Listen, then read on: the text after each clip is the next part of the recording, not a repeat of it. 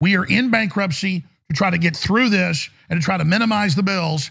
And then a bunch of the audience thinks, well, he's going off air. I'm not going to support. No, it's chapter 11, subchapter 5.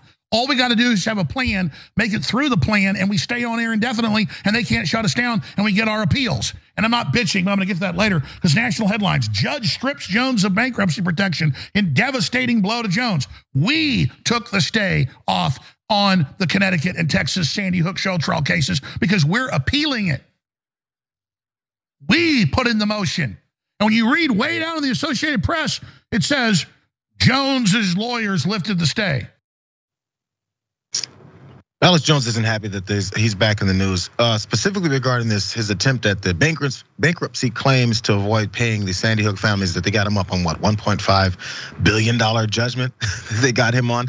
He's continuing talking about how they're misrepresenting what's going on in court with them blocking or changing, taking away that ability. Let's watch more which it's a liberating feeling. I kind of feel good in this fight that I'm going to get down to the point where I can't buy groceries. That makes me feel actually like I've done my job. I'm actually liking this in a way. I'm because unlike Fauci, I don't tell lies. You got that? That's my secret.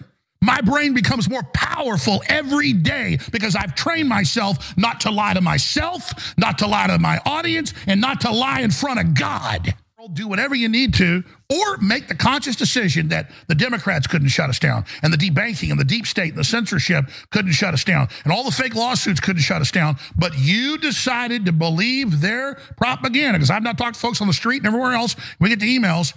And you believe we're going under because the lawyers told you we're going under, the Democrats told you we're going under, and, and you've decided, some of you, to believe that. So we've gotten less support since all those court cases. Okay, believe them. Believe it, and then it'll make it true. Because it's a self-fulfilling prophecy that this show is one of the most important broadcasts in the world for liberty, and it is up to the audience to decide whether we stay on the air or not. But the fact that it's just right there where we're almost where we need to be, and we're just almost going to beat these people, it just pisses me off. Alex Jones needs your support in order to keep his grift going and continue to raise enough money uh, to stay on the air. So we need you to not listen to what's going on in the trial and everything situation. Here's what's going on. Houston Judge Christopher Lopez reportedly ended a stay preventing Sandy Hook families from collecting a $1.5 billion judgment against Alex Jones. In a ruling on Monday, Lopez granted an order to lift a stay that was automatically put in place when Jones did file for Chapter 11 bankruptcy protections. He lifted that stay, reportedly, they say lifted that stay. But Alex is saying, no, it was all me. I did that because I wanted to continue to appeal. Here's what John Craven reported and said on Twitter as well. Just in though, Sandy Hook families may proceed with a $1.5 billion in judgments against Alex Jones. A bankruptcy judge just approved an agreement to lift that automatic stay that went to effect when he filed for bankruptcy. And the families, he said, agreed to not pursue collection offers just yet. It's a long part of the process. His uh, attempts to do these different things, pulling one thing, putting one thing in, having bankruptcy happening, uh, try, I'm sorry, filing bankruptcy there, asking for uh, people to continue to buy whatever supplements are on his website and watch his show and give him money.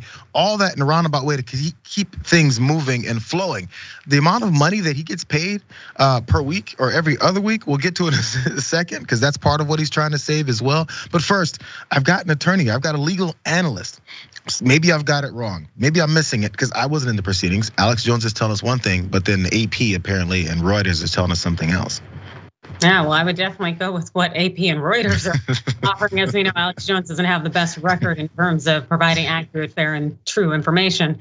Uh, but yes, it's it's interesting what this bankruptcy judge is doing. I don't think there's anything off base about it in any way uh, in terms of releasing this stay, because generally there is an automatic stay that comes in to place when you file. And so Alex Jones has been able to benefit from that for quite some time. So releasing it is a powerful thing, and it seems like it'd be a very accurate and on point move. Right, and I think also in another article I did read, I think it was the Reuters one, um, uh, where they did say once uh, the, the the ability to, to, file for bankruptcy to avoid these types of payments is null and void if it's based off of you causing harm to other folks. If the reasons why you have you owe these debtors all this money is because you were ruled against to have been absolutely devastating and detrimental to folks' families and their lives, which qualifies here. So it kind of didn't really work out. There's probably other avenues and directions that are making this all happen. But a little bit more, because I talked about his uh, salary. Um, his judges, his sorry, his attorneys are asking the judge to allow him to get this pay raise, a 1.3 million dollar salary. He drew that that amount, that 1.3 million, from uh, Free Speech Systems before its bankruptcy, and his attorney asked the judge to restore his salary at that level at a hearing on Monday as well. Jones has been paid a reduced bi-weekly salary of $20,000 since his company filed for bankruptcy on July 29th. That's just over a third of what he'd been paid before roughly 60K, I suppose. That's according to his court filing. We've really got to get back to that level of production to make this a profitable company and to try to pay back our creditors, is what they then said. I'm still trying to figure out if you get to making your 60K every other week to do your show, how does that generate more money for the company to continue to go on? Again, I don't run the business, so I'm not asking that question as a pushback. More of a, so if you get paid the three times more than what now you're getting paid on a biweekly basis, the company makes more money, so then therefore you can make it more solvent, and then you can maybe pay off these families that you lied about and sent your uh, your violent supporters towards to threaten and say they're going to kill and say they're lying about their families and their kids that they lost. How does this work out? I'm missing something again, Adrienne. I think I am.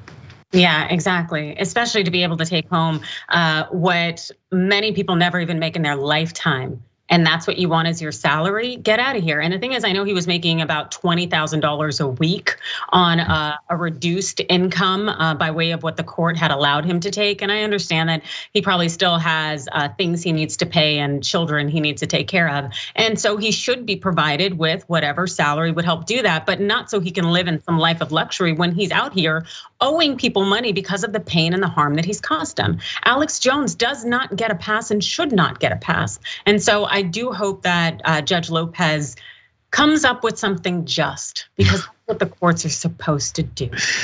We're uh, maybe we'll get back to that at some point. Oh, I mean, in some aspects, we were never there.